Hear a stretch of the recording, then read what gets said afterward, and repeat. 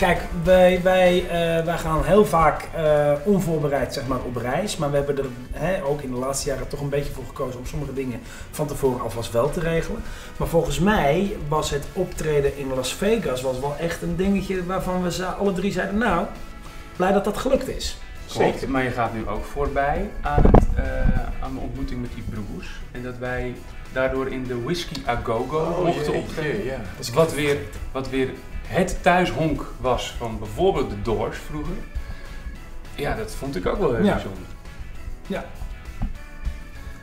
Ik vergeet mijn eigen successen dan, weet je. Dan denk ik van, ik heb zoveel geregeld. Dan moeten ze me eventjes helpen om dat te herinneren. Maar de whisky a go-go, ja.